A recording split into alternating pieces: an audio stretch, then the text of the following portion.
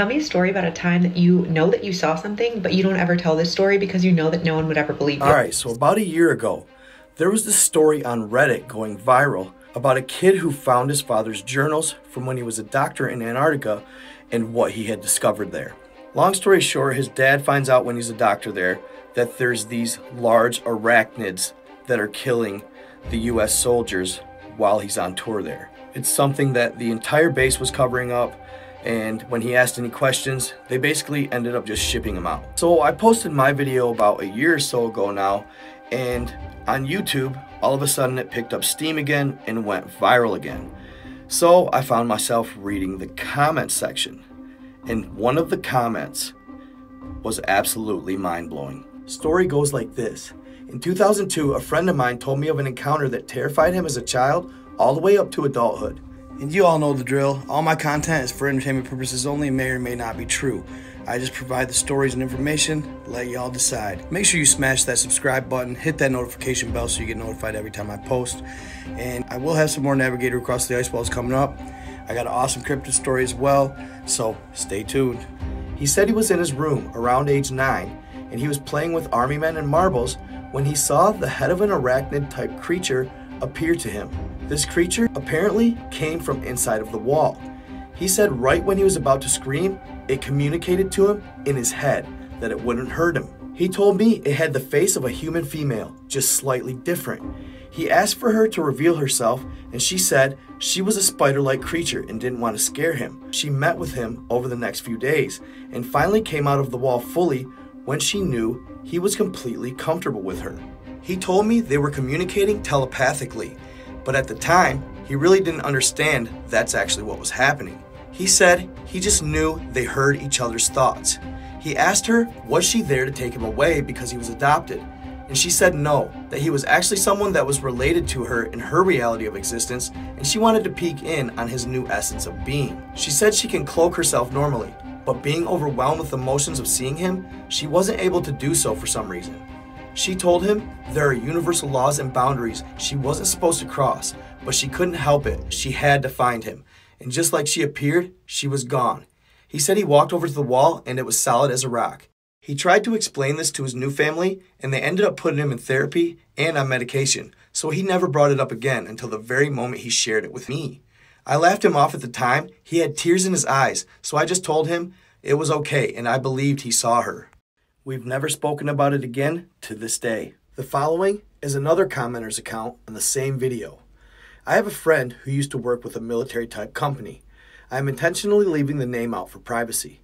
He told me he was 17 stories under the Denver Federal Airport in the 1980s, and he only knew this because he could tell by how long and at what speed the elevator was traveling at. And that was his guess at about how deep he went down because he was blindfolded and escorted by two fully armed military guards. He said he was taken down a long hall and put into a room, and after about 30 minutes, the guards came and got him and took him to this big office. He told me some rather large, overweight man proceeds to take out this large book from this massive desk in his office. He then starts unfolding this massive book, which then turns into a huge map of the United States, showing high speed rail systems, underground power stations, underground military bases, and different zones of control throughout the world. They are having a conversation about power substations when my friend asks him about what is their need for so much power and substations. The fat man then proceeds to ask him if he was in the military, at which time he says he was only a civilian with a top secret clearance, not military. That man proceeded to panic, jumps up on top of the map spread out on the table attempting to hide what was on there and then presses a button on his desk. Under the Atlantic he said Ocean, the two large all the way to Europe guards came running in. He told me most people had no idea that hundreds of underground bases are spread now. all over the place. He said they grabbed him, put a hood over his head, and proceeded to carry him off and put him back on the elevator, telling him to never return. He said he was aware over his working with this company that high speed rails traveled all over, including ones that actually went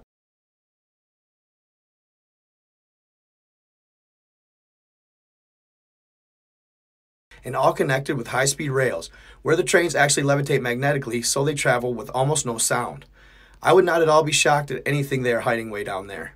Think about it 160 some countries all in a peace treaty since 1959, yet they fight wars everywhere else. Next story about Antarctica gets even crazier.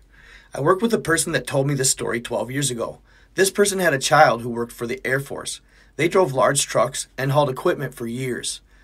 They were then sent to Antarctica to drive large snowcats to transport equipment and supplies to various outposts through the region back in the early 2000s. This person was sent on a transport to a location they had never been and was always regarded as off limits. As they finally made it to this area, they saw a large structure out in the distance on the horizon. Because it stretched the entirety of the horizon, they also began to notice something different about the sky. The sky seemed to look like glass. It didn't seem right to this person. It was as if there was something in the sky, but couldn't quite make it out. As they got closer to the structure, it just grew larger and larger, and they couldn't believe what they were seeing. It was a large black building with no windows. It looked to be a modern building that you would see in New York or another large city. As this person finally approached the delivery area, they said they could not see the ends of the building and that it seemed to stretch on forever. They also noticed that the sky, the sky shimmered like glass when reflecting light. They said they felt as if they were at the end of something, almost felt like there was a wall behind the building, and that the building was built into this wall. It made no sense to them, and it felt wrong, as that they shouldn't be there. This person wanted to leave as soon as possible, so they finished the supply drop, which were large nondescript cargo type containers. They have no idea what was in the containers, nor did they see anything that was alien or the like. The building itself felt ominous and bad, and that they had an extremely bad feeling when there. None of it seemed possible. The sky, the building, and even the individuals in the receiving base seemed different, not normal, such as the military or the scientific type. This person would only describe the people there as just giving off a weird vibe, as if they were bad or out of place. This individual made it back to their home base and immediately asked for a transfer to another area where they know they would only do local runs and not the long hauls until their deployment was over. This person never saw anything out of the ordinary again while finishing their deployment there. They did say they would hear people talking about odd things happening around there. They never specified as to what the odd stuff was and refused to even repeat it or talk about it again. I trust this person who I worked with, and they would never make up such a story for to me for any reason. They were a hardworking laborer type person whom I knew for years before they ever told me this and asked me to never give out their information. This is the last comment I'm going to read from this post. My grandfather was in World War II. He was a Merrill Marauder for intelligence and reconnaissance. He was around the age of 73 when he told me that after the war back on the Indian reservation, alcohol was illegal to the Indians. So they had bootleggers close to the reservation borders. He and several friends would case up, and before they headed back to the Indian reservations, they would drink and visit, holler around, and enjoy getting drunk. It was a thing on the weekends. Until they seen a few massive spiders. I can't share directly what took place, but he said it could be from the bombing range that Ellsworth Air Force conducted studies at, right next to the Indian reservation in South Dakota. He also believed it could be the chemicals that caused the insects to grow so massive. We rode horses by the Badland Wall before. He asked me if I seen the huge holes on the sandstone domes. I said yes. That's when he told me don't ever go out to the Badlands, not alone, not ever, or at night. He only told me about the spiders, not the snakes or the people with no eyes that would scream and run around in the dark. There are things we don't understand. We shouldn't try. We have a job as humans.